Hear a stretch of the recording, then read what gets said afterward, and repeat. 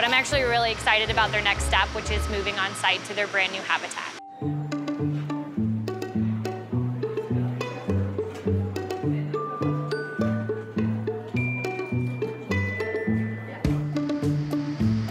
This is our animal care facility that we use to quarantine our animals. We're always getting different species in, and we want to make sure that every species we get in, we can fully accommodate. So the hope is that they're in great health and that they get to go on site for our public very shortly after they arrive here. Hi, babies! These are our male and female ruddy ducks. They came to us from a partner facility, and based on their feathers, you can tell that they are both juveniles. They're found all over the whole United States. A lot of people can actually see them in their backyard.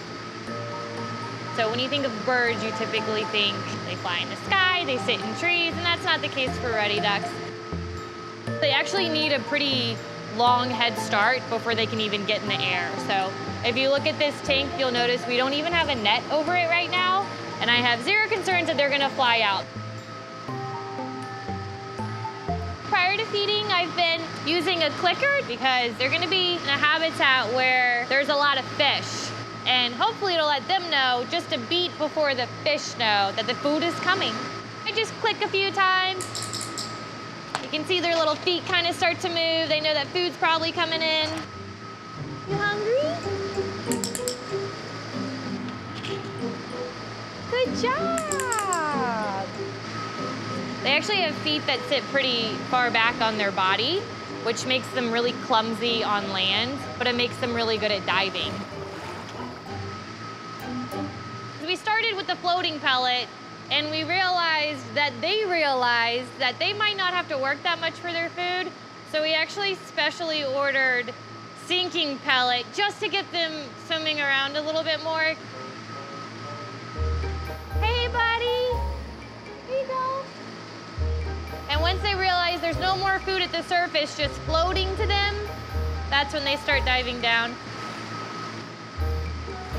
But I'm actually really excited about their next step, which is moving on site to their brand new habitat.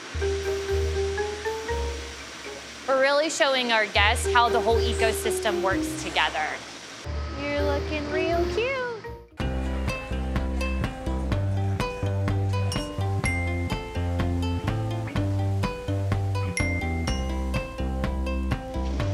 I'll just hand them to you. Today's a really exciting day. Female ruddy duck have cleared quarantine, and they're going to be moving into the forever home in our River Scout Gallery in our river habitat. Looks like they're doing great.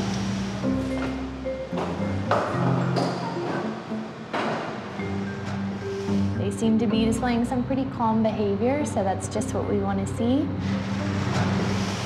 I'm gonna be really sad to see them go, but I have full confidence that the on-site staff are gonna take really good care of them. We're just heading to the top of River Scout, and uh, these guys are about to see their new home. So let's bring it over there and kind of set it facing the entrance.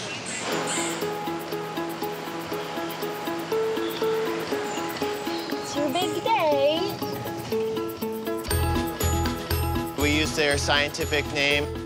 So we have oxus, which means sharp, and aura, uh, tail. So these are sharp-tailed duck. Oxus is going to be the male, and aura is going to be the female. Hey, Aura. You look right at home. Don't worry, we got your buddy. Feisty, I like it. Yeah. She's got some spunk, that one. Big girl, look at you. Oh my gosh. They look so good. Oh, What do you guys think? Yeah, go check it out over there, guys. yeah. There's a whole new world over there. Oh, Oh, First good dive. job. That is awesome. that was at least uh, a three or four foot dive. A lot of fun to watch these guys get used to their new habitat because they've got so much space. The universe has been expanded.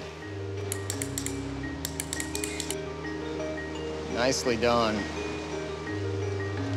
They're not immediately scurrying back and you know, trying to find shelter. They're just kind of hanging out, waiting very- for more. Doing very well.